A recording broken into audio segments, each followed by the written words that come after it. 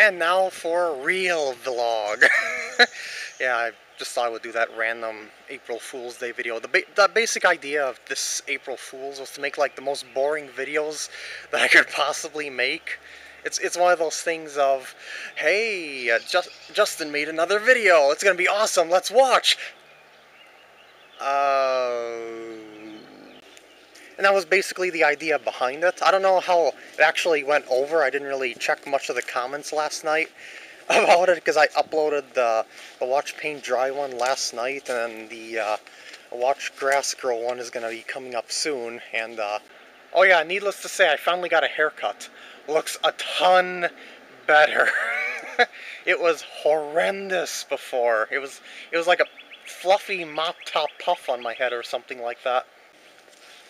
Anyway, the snow is mostly melted now, so now things have been revealed to us, so to speak, of what we gotta do in the spring. And take a look at this stuff here. If you go to the end of our driveway here, and look at all this, see all this junk that's piled up over here? This is all basically pieces of the road and pavement that the plows were scraping out of the road here. See how cracked up the road is over here? Yeah, this is where it's all coming from and it's on the lawn. I am not looking forward to raking that up. so yeah, basically what happens is that you gotta rake it down back to the end of the driveway here. We pretty much have to do this every year, but this looks like the worst year yet for this. And the, re the reason why is because it kind of hinders the grass from popping back up when there's so many dense stones, you know, it kind of leaves patches and stuff like that. And look over here, look at this spot in the lawn. See how it's like carved out? This was done by the plows. Yeah, when they pushed the snow up onto the lawn, because, you know, there was not much more room to put the snow, so they just decided to push it back, they sort of dug into the lawn and not just dug into. I'm talking about like three inches dug into the lawn. I don't even know where the rest of the grass is. Maybe, maybe some of this stuff right here is the missing grass in question. I don't know.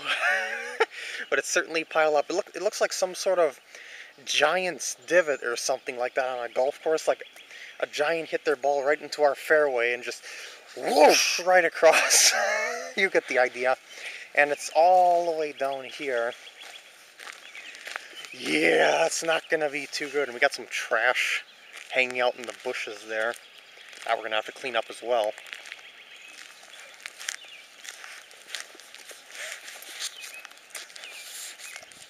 And on the other side, it's not quite as bad. This is still in the front lawn here, front yard here. It's it's still kind of on the lawn, but it's not nearly as prominent as it was on the other side. So yeah, it, it'll still take a bit of work, but still very, very doable. And it's a huge chunk right here. what am I? I've just been talking about rocks laying out on the lawn for like the past five minutes. This is like the worst video ever. It's like the watching grass grow video. Maybe this should be the next grass growing video or watching paint dry video.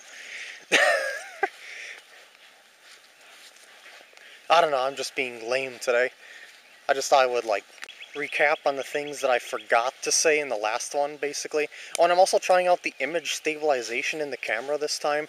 I didn't know this one had image stabilization, but it's only for video for whatever the reason it is, but it seems to work pretty good compared to how shaky my video was before, but I'm not sure if that was me or if that was just because I was walking on unsteady terrain, so to speak. Like when I walked in the backyard here, I would, well, that, that, that was because I just jumped up a step there, but yeah. and up here is the bridge, and back to the backyard here. But basically when I was back here before, it was like really, really uneven for some reason. I think it was because in the winter time when the ground freezes, it freezes the ground and, well, I just said that, and it makes it like puff up in multiple places and it feels like really, really lumpy and hard. So it's like you're expecting to walk on a level plane and it's not that level. so yeah, that's basically what happened last time. And I, I, probably could have been more steady with the camera last time, but eh.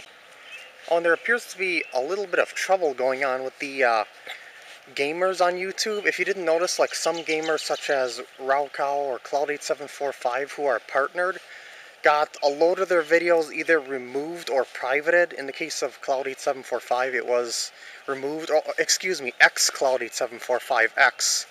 But you should know that by now if you know his channel. But anyway, uh, something about YouTube and them being worried about game copyright or copyright being in game videos or whatever. They're like cracking down on partners or something like that.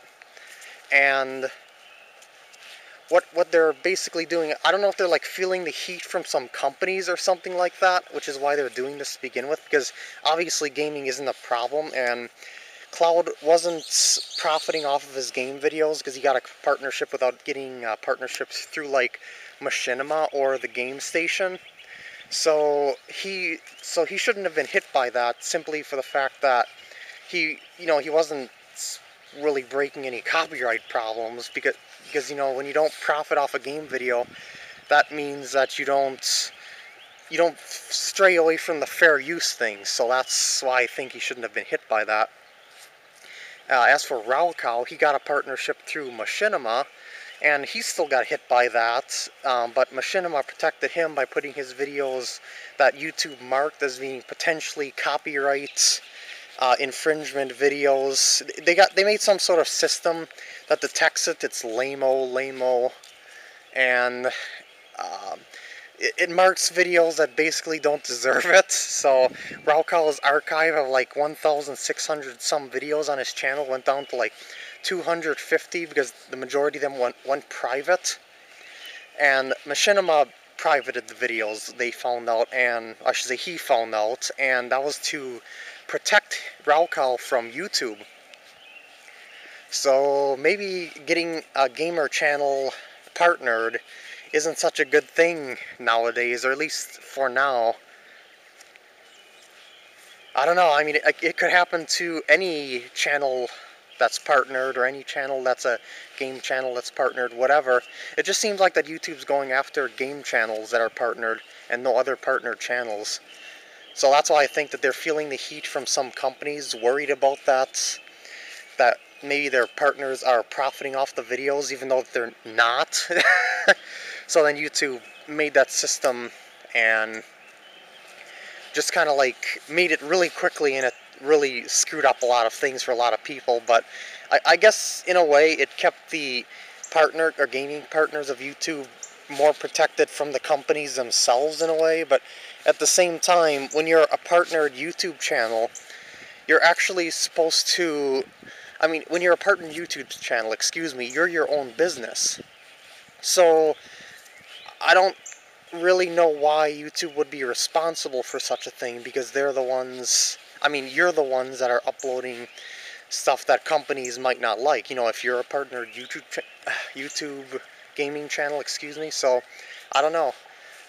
Uh, I guess it's as I said, it's a good thing that my YouTube channel never got partnered. My game channel never got partnered because I might be dealing with that right now, and people not might not be able to watch the 700 plus videos I have on my channel. And I think that would suck.